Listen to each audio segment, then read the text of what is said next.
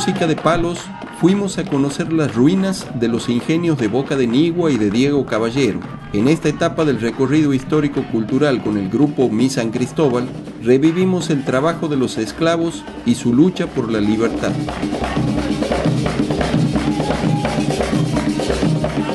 Esta es la ruina del ingenio Boca de Nigua, eh, llamado así por la, cercanía que tiene la desembocadura del río Nigua que cruzamos hace apenas unos minutos.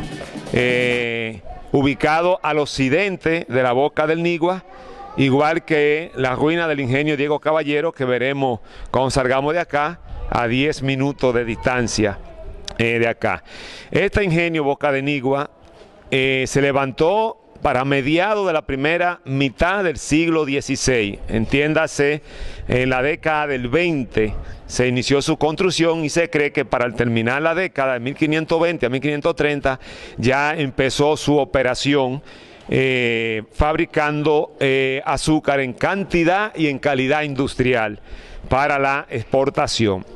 Eh, la importancia de este ingenio que se convirtió por varias décadas en el más grande e importante de su género, eh, movido primero por fuerza eh, humana y luego por fuerza animal, usando bestia, caballo, etcétera, eh, bueyes, para mover el trapiche.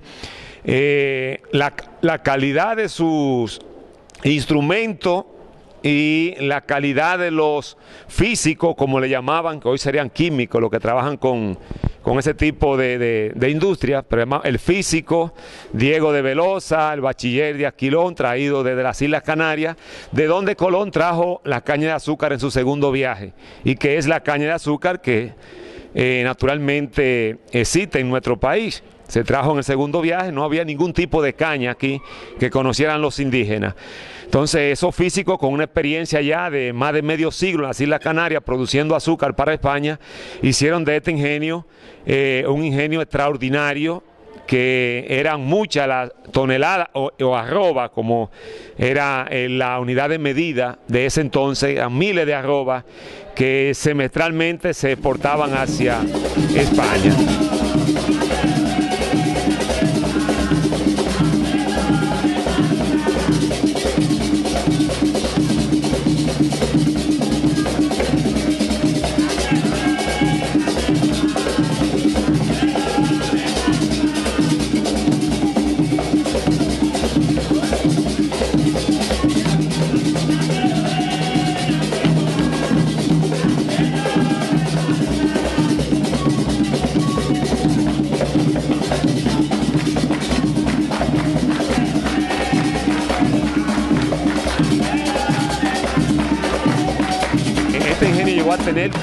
Un mínimo de 200 negros esclavos y una población considerable de peones, que llámese los trabajadores blancos que cuidaban de los, de los esclavos, fue propiedad o el primer propietario fue el marqués de Iranda y fue administrado por Juan Bautista Ollarzabal, eh, que era funcionario de la eh, Real Audiencia de Santo Domingo.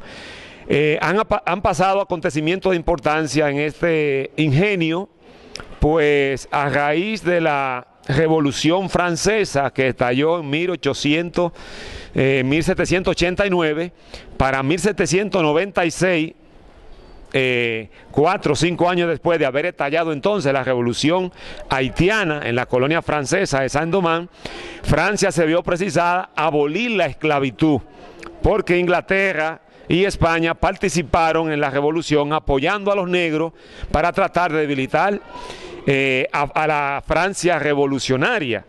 Y como eran eh, las otras monárquicas, entonces cuando Francia entendió la posibilidad de poder perder la colonia con ayuda de los ingleses y españoles, le abolió la esclavitud a los negros para que vuelvan al lado de ellos.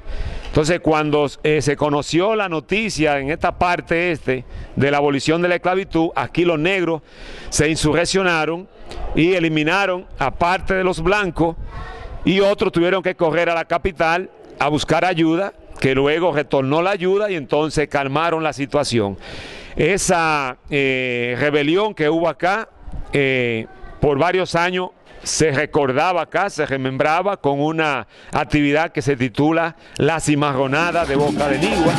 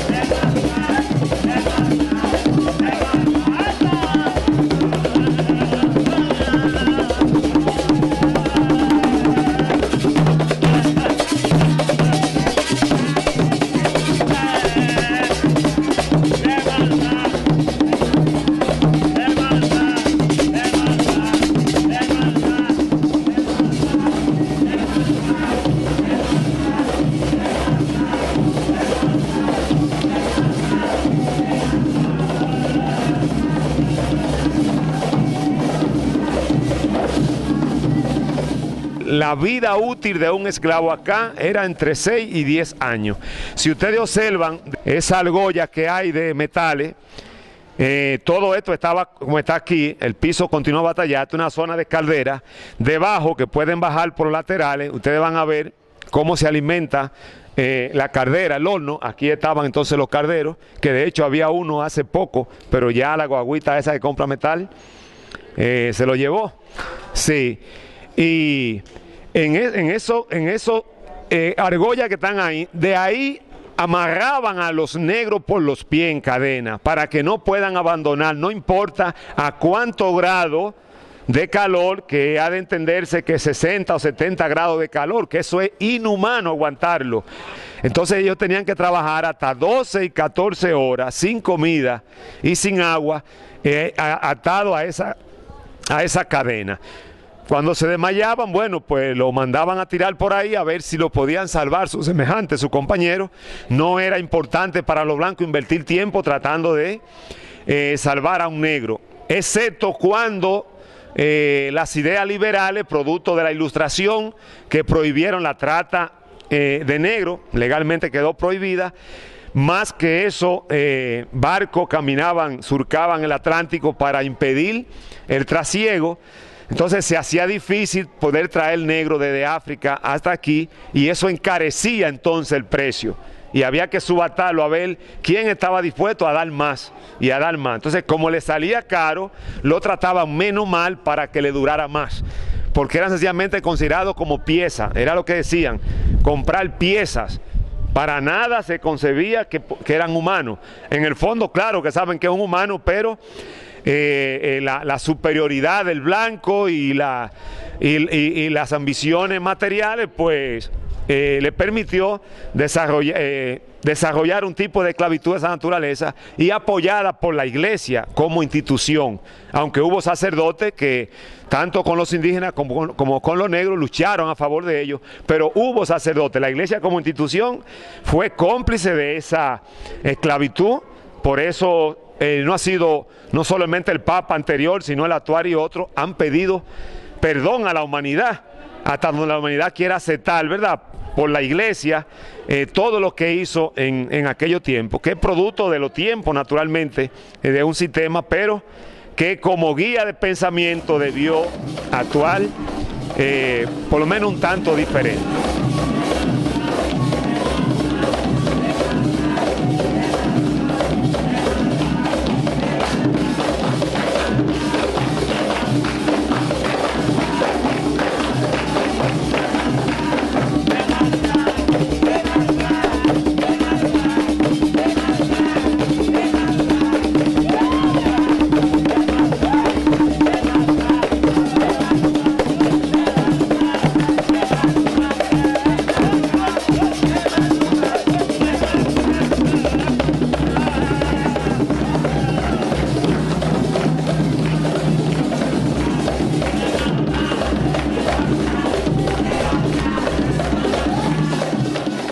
La barraca, que se usaba ese tipo de estructura para dos fines, para almacenar el dulce y ponerlo en enfriamiento en los barriles y para almacenar a los negros. Ustedes van a ver cómo dormían ellos en madera, bien cerquitita, un hacinamiento extraordinario. Por ende no se bañaban porque no tenían que vestir, no tenía sentido bañarse. Bañarse es una cuestión cultural, como alimentarse. ¿Me baño para qué? Si necesito no tener hedor, si necesito cambiarme la ropa, pero no. Cuando usted trabaja 14 horas con hambre, con golpe, lo menos que puede hacer es dormir el poquito de tiempo que le quede para el otro, al otro día comenzar de nuevo la faena. Entonces dormían hacinados porque tenerlo bien cerca uno de otro era más fácil tener control de ellos. Tenerlo disperso no funcionaba. Eh, lo que se daban a la fuga los estampaban como si fueran la vaca. Por lo regular las iniciales del nombre del, patrón o del dueño, en un alambre lo calentaban, le llamaban carimbo, y lo estampaban por, por, la espalda a las mujeres, porque entonces en el pecho le podía dañar la mama, y necesitaban la mujer como un elemento reproductor para nuevos esclavos que no van a comprar. Y al hombre lo, lo estampaban en el pecho Eso podía durar semanas para sanarse la quemadura y quedaban de por vida. Si se escapaban en otra hacienda, lo podían conocer y se lo devolvían al dueño anterior. En ocasiones le cortaban el dedo grande de los pies para que no puedan correr, porque es el soporte para poder darse a la fuga. O le cortaban oreja como si fuesen chivo para señalarlo. Eh, todo ese tipo de, de técnica y de tortura aplicaban contra los negros.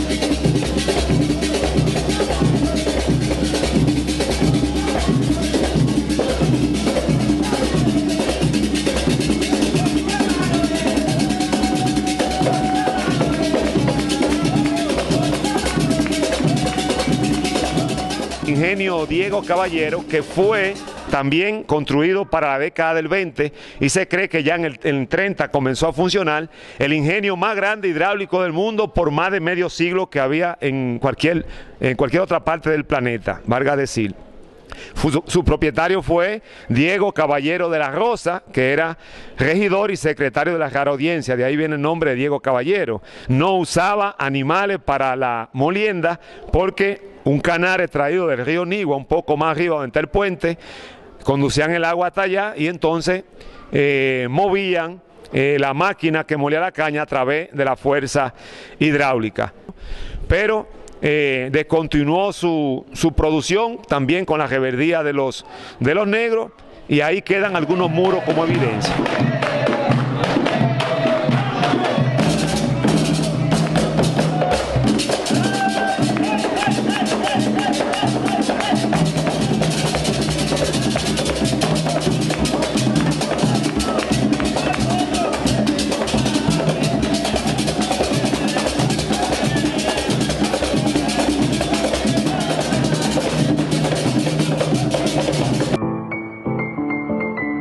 Que hacer de la política un ejercicio básico de la ciudadanía. La ciudadanía es el reconocimiento político de los derechos humanos.